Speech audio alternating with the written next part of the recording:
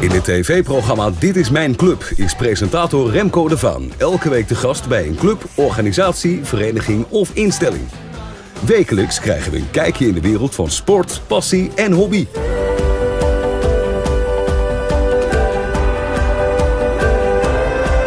Remco is benieuwd naar de leden en de sponsoren van de club. Dit is mijn club, elke woensdag te zien hier op TV 73.